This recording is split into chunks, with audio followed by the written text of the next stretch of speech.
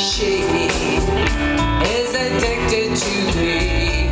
She is the root connection, and she is connecting with me. Here I go, and I don't know why I spin so ceaselessly.